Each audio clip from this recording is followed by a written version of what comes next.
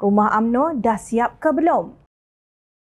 Timbalan Pengerusi UMNO Johor Datuk Nur Jazla Muhammad seolah-olah mengaku UMNO berhadapan dengan pemberontakan pihak yang tidak puas hati apabila jawatan Presiden dan Timbalan Presiden tidak dipertandingkan.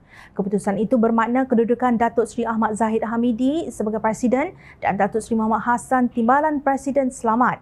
Rumah sudah siap tapi pahat masih berbunyi. Begitulah saya rasa perumpamaan yang paling sesuai kalau kita nak mengulas mengenai isu pemilihan jawatan presiden dan timbalan presiden AMNO yang sudah lepas minggu lalu. Walaupun majoriti perwakilan AMNO yang hadir pada PAU 2022 sudah buat keputusan bahawa kedua-dua jawatan utama parti itu tak dipertandingkan tapi masih ada suara-suara sumbang yang masih tak berpuas hati.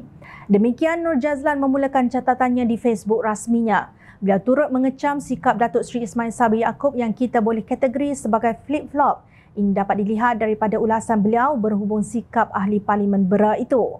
Malah naik Presiden UMNO sendiri yang juga PM9 buat lain cakap lain. Ketika proses pengundian usul itu dibuat, dia boleh pula berdiri dan sokong tapi bila keluar dewan, dia pula buat sidang media dan mempertikaikannya. Sepatutnya kalau dah setuju tu duduk diam saja dan kalau tak setuju jangan duduk gatal-gatal nak bangun dan sokong bidasnya.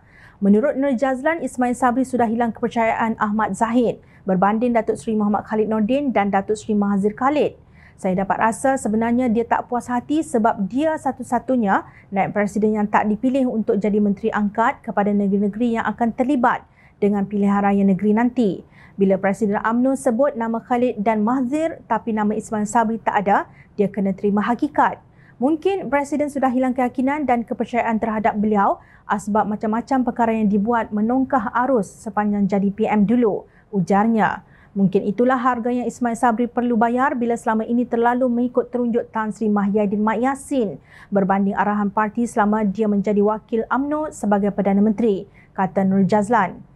Beliau turut menyelar sikap pengurusi AMNO Johor yang juga ahli Parlimen Simpang Renggam, Datuk Husni Muhammad yang katanya baru berani bersuara tentang isu yang sama. Selama ini dia hanya ambil sikap kunci mulut dan tak keluarkan kenyataan apa-apa pasal pemilihan jawatan presiden dan timbalan presiden itu.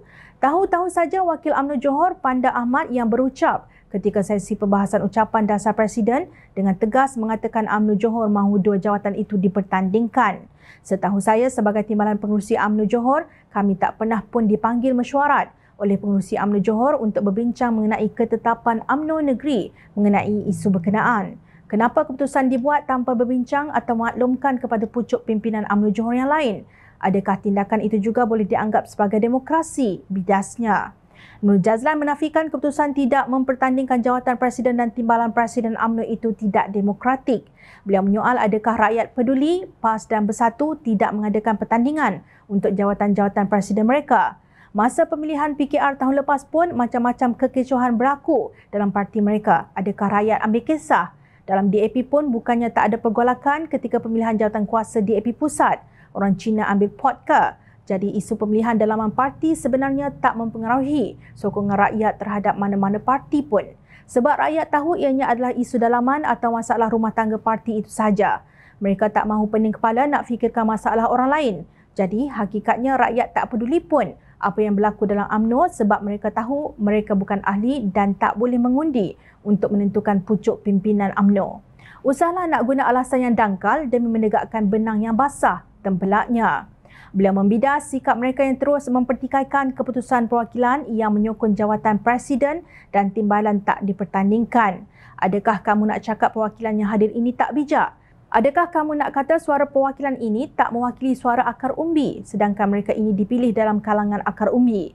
Adakah kamu nak mempertikaikan kewarasan para perwakilan dalam membuat keputusan sebagaimana yang Khairi dakwa suatu kegilaan kalau dua jawatan itu tak dipertandingkan? Soalnya, Nur Jazlan juga menasihatkan ahli parlimen Sembrong Datuk Seri Hishamuddin Husin supaya duduk diam-diam. Sudah banyak tindakan yang dia buat di belakang parti sign SD untuk sokong PN buat kerajaan tanpa pengetahuan pengurusi PN dan parti. Bila sudah kantoi, buat muka tak bersalah pula. Bila nama kena petik dalam taklimat dan ucapan dasar Presiden, terus buat-buat tak tahu. Kononnya tak tahu kenapa dia dicop sebagai pengkhianat. Tak perlulah berlakon suci macam ahli-ahli AMNO tak tahu apa yang dia sudah buat selama ini kepada parti, sindirnya. Beliau mencabar pihak yang sedang berbantahan supaya mencuba untuk bertanding tiga jawatan naik presiden untuk menguji sama ada mereka benar-benar popular. Demikian kucalanannya AMNO. Anggaplah ini seperti kata pepatah Inggeris blessing in disguise. Apa yang berlaku memperlihatkan sejauh mana pemimpin AMNO tahan apabila diuji dengan kekalahan lupakan gerombolan gagalis ini dan move on. Kita ada banyak kerja untuk rakyat dan negara. Sebenarnya bukan rakyat tak peduli keributan yang mereka timbulkan. Rakyat tahu apa motif di sebalik perebutan kuasa dalam AMNO kerana rakyat sentiasa memerhati.